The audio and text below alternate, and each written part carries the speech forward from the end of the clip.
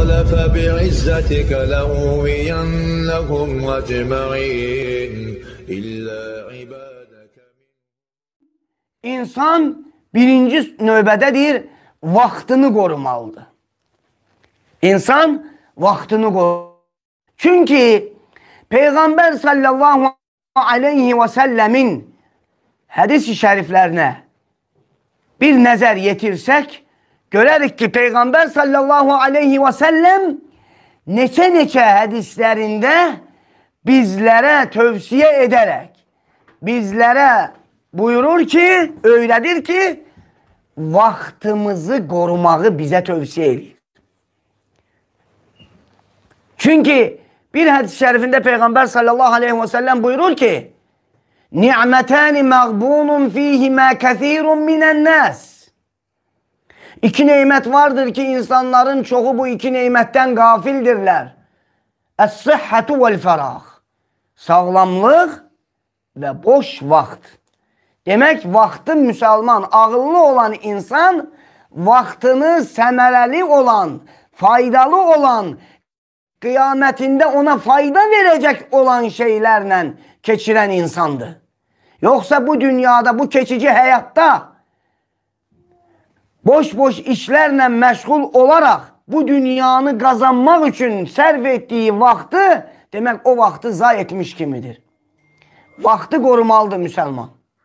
Buna dəlil də Peyğəmbər sallallahu aleyhi və səlləmin başqa bir hədisi var ki, Peyğəmbər sallallahu aleyhi və səlləm buyurur, İğtənim xamsən qablə xams.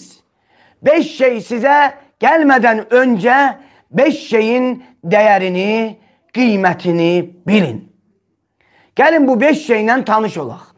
Hansılardır? Şəbəbəkə qablə haramik. Yaşlanmadan öncə gəncliliyin. Sıhhətəkə qablə səqamik. Xəstələnmədən öncə sağlamlığın. Ghinəkə qablə fəqrik. Kasıblaşmadan zenginliyin. Fərağəkə qablə şuğlik.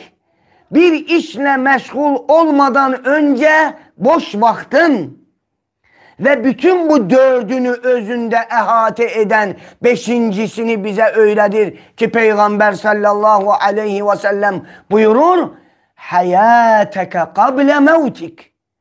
Ölüm sənə gəlmədən öncə həyatının dəyərini, qiymətini bil deyir. Ona görə ağıllı olan insan bu beş şeyi dəyərləndirməli, qiymətləndirməlidir. Gəncliyini, sağlamlığını,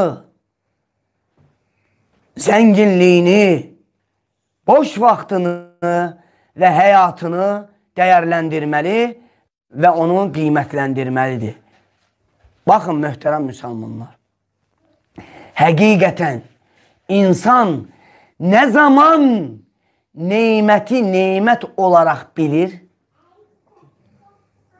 o neyməti itirdiyi zaman.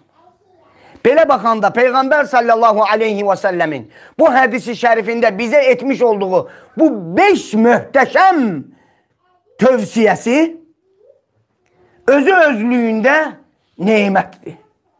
Gənclik, zənginlik, boş vaxt, sağlamlıq və həyatımız. Bu ayrı-ayrılıqda hərəsi ayrı-ayrı bir neymətdir. Bu neyməti dəyərini o neyməti itirən insanlar bilir möhtərəm müsəlmanlar.